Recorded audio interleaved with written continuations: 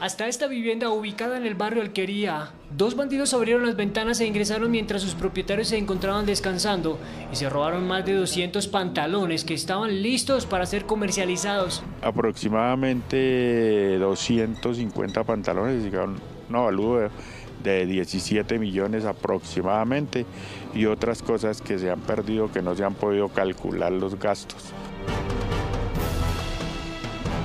Los bandidos dentro de la casa empezaron a esculcar todo a su paso y luego tomaron las prendas y las empezaron a sacar por una de las ventanas del primer piso.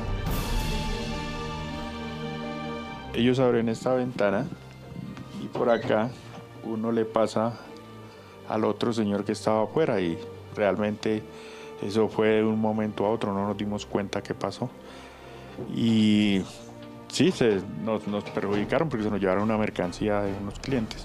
Pero este no ha sido el único caso que se ha registrado en el barrio. Delincuentes también han robado autopartes de vehículos e incluso transeúntes en la zona. No solo eso, también están ocurriendo cosas aquí, ya no pueden dejar un carro parqueado porque en el mismo, la misma semana, entre los mismos días, a un señor le robaron el computador, la batería y a otro señor el lunes, el martes la batería. Entonces estamos en una inseguridad aterradora.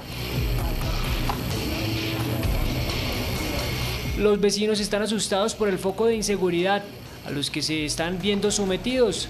Dicen ellos que la delincuencia se tomó Bogotá. Pues la verdad el foco de inseguridad es bastante fuerte, no solamente en nuestro barrio, en todo el sector y yo creo que a nivel Bogotá.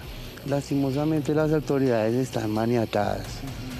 No sé, yo creo que hay que fortalecer los códigos de policía, porque las normas que nos rigen desafortunadamente permiten que el delincuente haga de la suya siempre. El dueño de la mercancía manifestó que deberá responder por el material perdido y tendrá que volver a empezar de nuevo.